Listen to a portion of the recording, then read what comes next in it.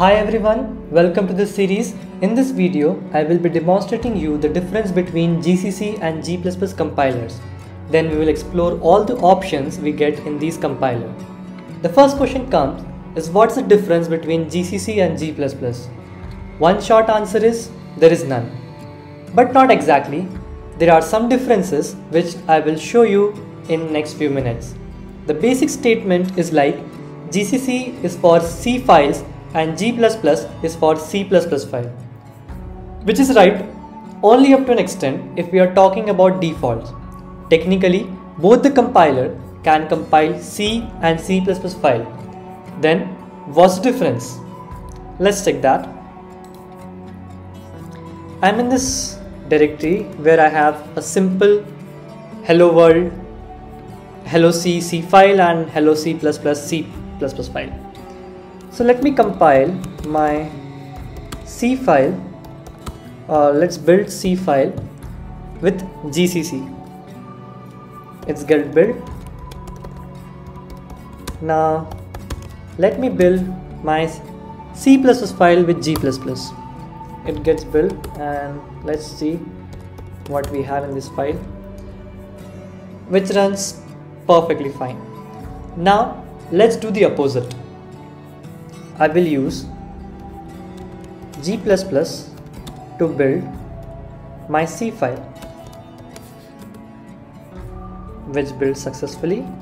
Now I will use GCC to build my C++ file and let's see. It gives an error. So basically this error comes because by default GCC has no idea how to link cout which is basically a standard C++ library thing. So how we can fix that? It's pretty simple.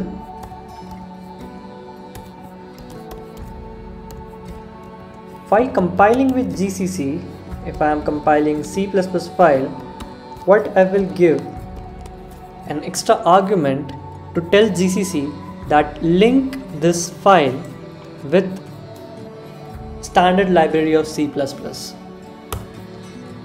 And now,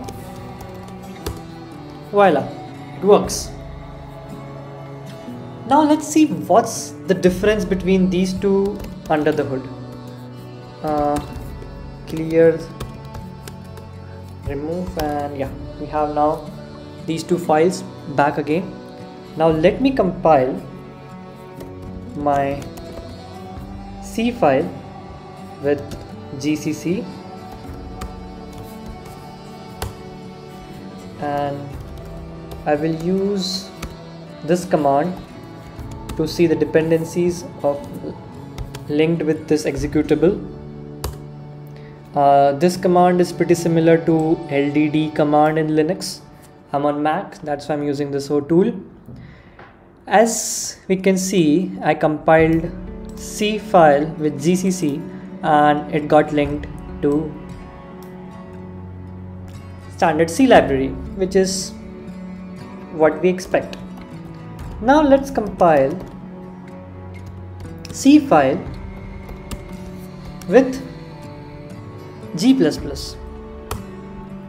and let's run this command again and we see by default G++ links even a C file with C++ library and C library.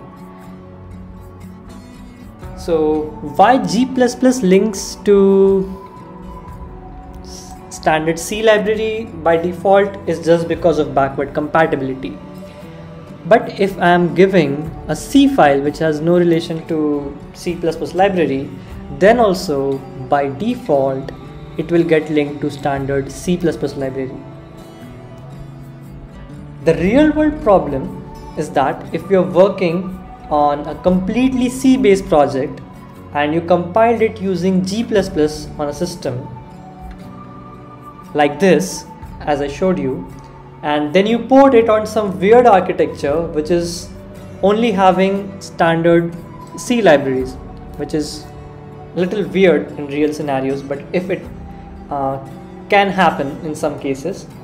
You will think that project should work perfectly fine because it's having C project, no dependencies of C++, but while building using G++, it was linked to C++ library. So it needs C++ library, though it will not use any of it, but it needs those to be present. So how we can fix that? Uh, simple way to fix that is by giving an extra command to G++ that treat it explicitly as a C file. And now when I run linking, I don't see any standard C++ library linking. Now let's clear the screen. So that's what some basic differences between G++ and GCC. In this series, I will be using mostly G++ as I will be focusing on C++ code only. So let's see some uh, options which we get like uh, minus X is for the file type let's remove this I can give minus C and uh, let's compile with G++ I can give minus XC main dot uh, C minus out and C. This this is exactly the command which I showed you. What it means is we are passing the language uh, in which we are providing the input file. And that will be compiled as we have given the language rules. One more command which we have is for minus e which is for preprocessors. We can generate preprocessor output for any code file which we have and preprocessor is generally having the extension of dot .i. Uh, basically what are preprocessor files are these are the first stage uh, where the code gets pre-processed. Uh, what it does basically it removes the comments, it replaces the macros and includes the header. That's what a preprocessor does. It will not compile, it will not link, it will not build that's what the role of preprocessor is so let's generate a preprocessor file and now you can see so if I open it it's a pretty huge file pretty huge file because I have included a standard C library. Let's edit that. What I will do I will have this and uh, included excluded by comments. And I have hash defined here which will replace this high in this line now let's get this pre-processed. And now if I see I can see my comments are removed after the preprocessor has done and it has repl replaced my macros and it will include header as I showed in previous thing as I have excluded the header with comments. So that thing is covered. Now one more thing let's edit that file and make it back to original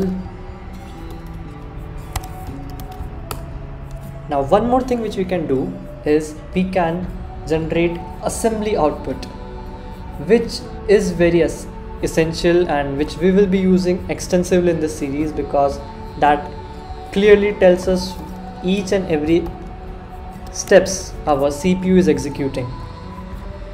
To generate an assembly output the command we give is minus s and we give our file and the extension we store it as s.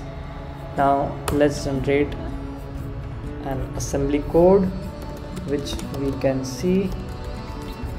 And what all this is we will we will be discussing this in upcoming videos.